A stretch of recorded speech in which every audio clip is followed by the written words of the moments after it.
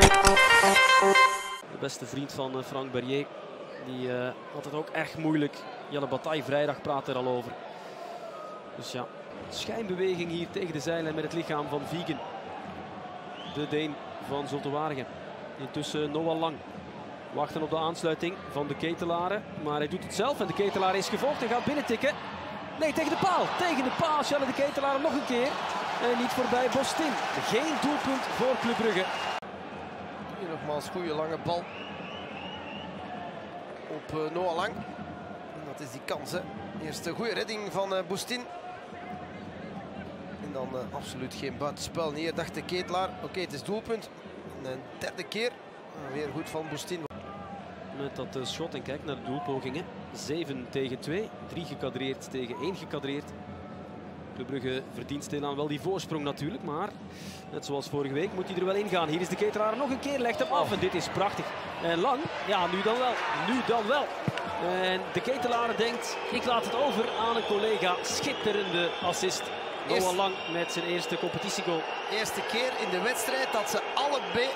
Geweldige paas ook van Hans van Aken. Toch wel meester aan de bal, hè? Hans van Aken.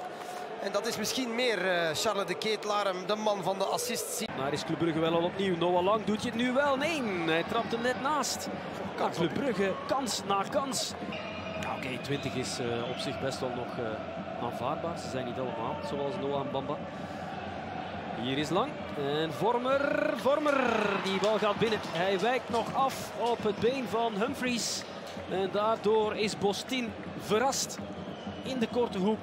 En de goal hing in de lucht, dat hebben we u al verteld in die eerste 20 minuten. De vormer vrijgelaten. Goede tik van uh, Mata. Goede tik van Lang. En dan is het inderdaad via het been van Humphries. De ketelaren. Sobol buitenom, die krijgt hem nu. Dat is misschien wel buitenspel of niet. De ketelaren tegen de paal en dan binnen. Maar het is buitenspel. Ons gevoel was juist. Konnen. Jawel, toch wel bedoelde van de ketelaren niet en van de Sobol wel. Niet omgekeerd. De trainer en de spelers natuurlijk. Hè? Want, ja, goed, maar... je, hebt, je hebt vijf spelers voor drie posities ongeveer. Hier is de ketelaren. De ketelaren legt hem af naar Van Aken. Het gaat allemaal lekker, het gaat allemaal goed. Het is 0-3. En ook Hans van Aken doet zijn duit in het zakje, opent zijn rekening.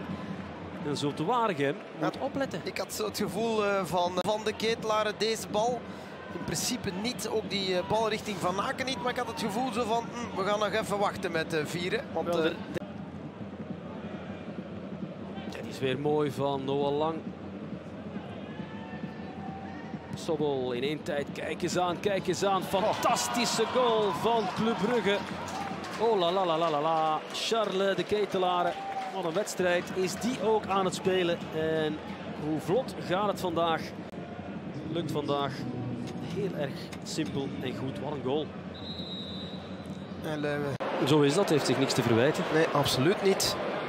Maar club, uh, ja. Op 0-6 ja. had en vandaag. Heeft al een gele kaart gekregen, denk ik. Ja, die gaat eruit. Die gaat eruit. Tweede geel voor Edward Sobol. Dat is nog een uh, anticlimax voor de Oekraïner.